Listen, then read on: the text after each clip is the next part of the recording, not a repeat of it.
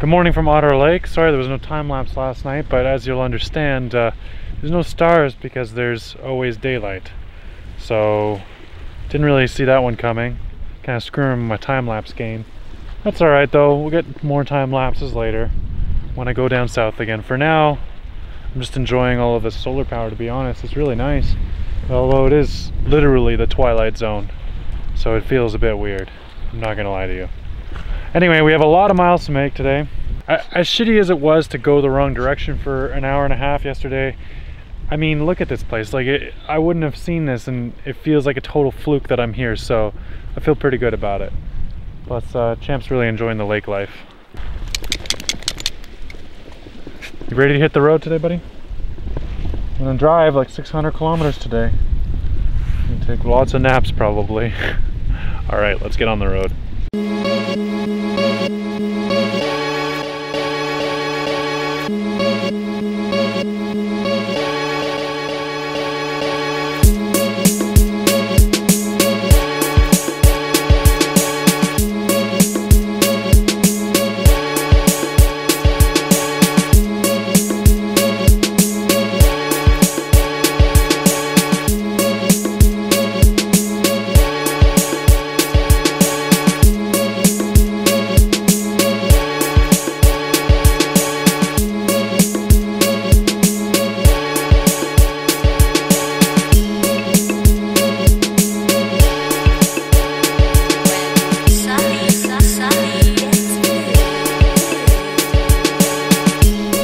Welcome to the Klondike Highway. We've left the Alaskan Highway behind and now we're heading up to Dawson City today.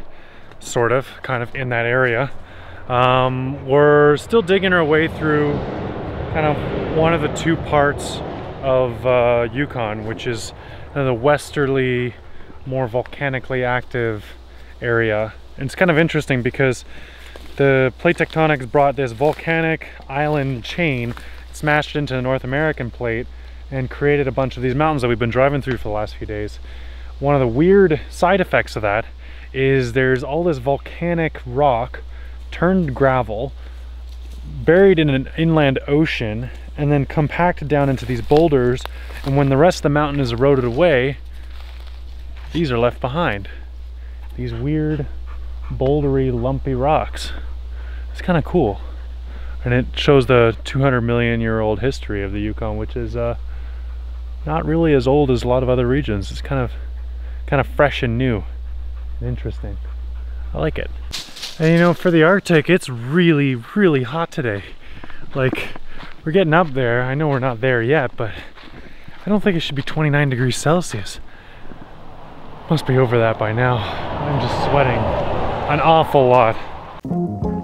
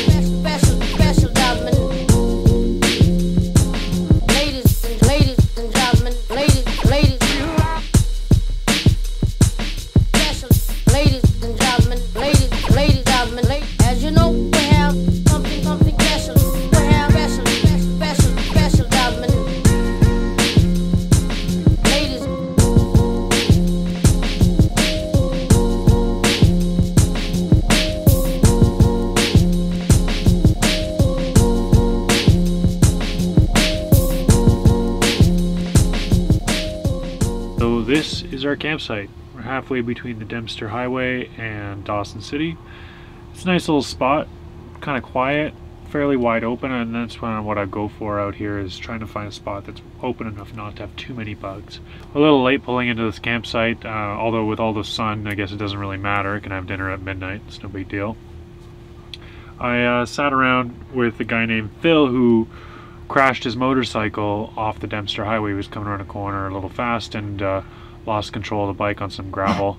he managed to like keep it up on two wheels for 300 feet before putting it down and when he did he uh, he hurt his back a little bit. So we're not 100% like that he's um, fully injured his back but he definitely has some back pain and we didn't want to move him. So I sat with him for an hour while uh, we waited for the paramedics to make it all the way to him and then uh, after that helped the paramedics get him up into the vehicle. So hopefully he's fine he seemed uh, more and more coherent the longer I stayed with him, so it's good.